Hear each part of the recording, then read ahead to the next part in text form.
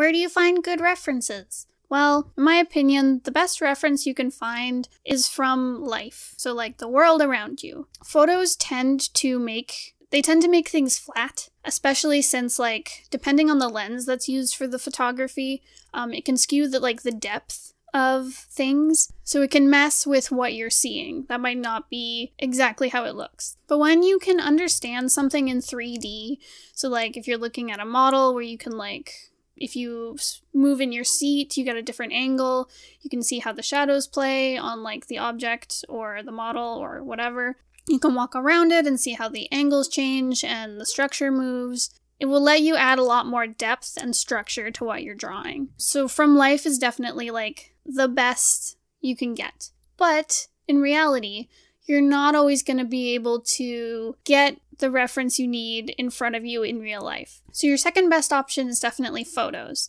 So I use photos a lot. It's super easy to get a hold of a photo of a model or a landscape than going to find these things on your own. And where do I find these photos? Generally, I just use Google or Pinterest. Uh, I also go through like um, stock image sites, so like Unsplash is one I look at a lot, and I utilize like Tumblr and Instagram for fashion photos if you can find like uh, books on like photography books or magazines, these are also great resources. It doesn't all have to come from online. So yeah, photography is like your second best bet. It's probably what you'll use the most. It's what I use the most. You can still get the general idea of things as long as you understand kind of like how to break stuff down into shapes. So like a good mix of like studying from life and studying photos will super help like improve your work. Mixing the two is great reference. Um, so for example, like get a picture of a model and then also get your friend to pose for you. So you can get, say, like the proportions that you want from the model, but you can see how, like, human anatomy looks in real life from your friend. Now, what about art books and reference books, e.g., like how to draw blank books?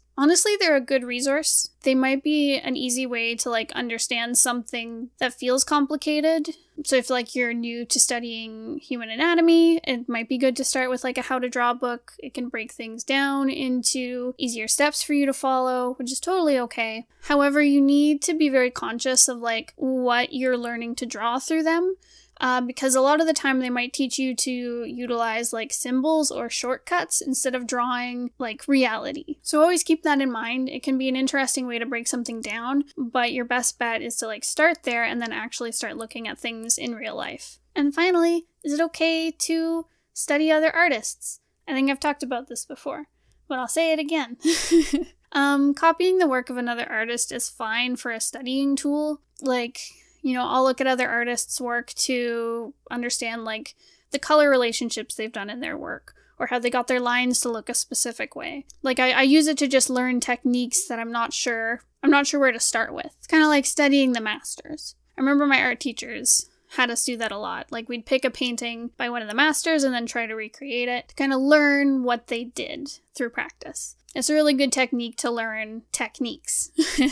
However, you run the same risk as like using how to draw books because this artist might have used like shortcuts or they might have simplified something and it could give you a bad habit if you copy what they're doing without understanding like why they're doing it or um, not understanding like the form that they're drawing that they have translated into like 2D or whatever. Some of my favorite like real life references are things that I just find around my house.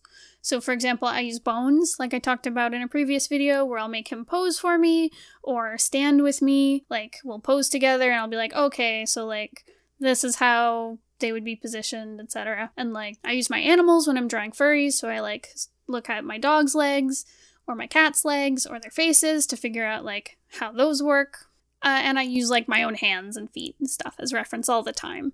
That's always something you can reference. Just grab a mirror or look down at your hands. That's like perfect.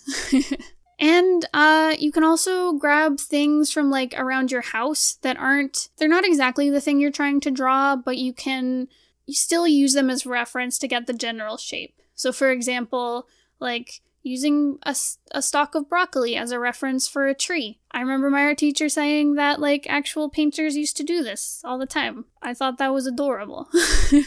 or say, like, you want to draw, like, a cityscape, so you grab a bunch of building blocks to, like, plan out the shapes of the city. So yeah, get creative with your references. They don't have to be like spot on to what you need. You might need to like grab a broom and pretend it's a sword and get photos of that to see like how someone would grip a sword handle. As always, draw from life, then photos, then everything else. I hope that helps. Where do you guys find your references? I want to know. Maybe I've missed something somewhere. Anyways, thank you so much for listening. That's all I have for today. If you have any questions or if you'd like to submit a video topic, please leave a comment down below. I'll be answering all the art questions, and Bones will handle all the writing questions. Thanks again for watching. Goodbye!